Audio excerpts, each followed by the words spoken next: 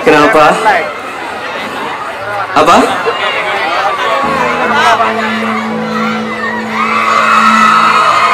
Oke. Oke. Five minutes hampir ke enam kali datang ke Aceh dan selalu membawakan lagu ini dan lagu ini itu yang membawa yang membawa Indonesia ke dalam salah satu ajang olahraga se-ASEAN Games. Jadi lagu ini tuh menjadikan Indonesia dikenal di Asia bahkan dunia. Tahu nggak lagu apa? Lagu apa? Lagu apa? Lagu apa?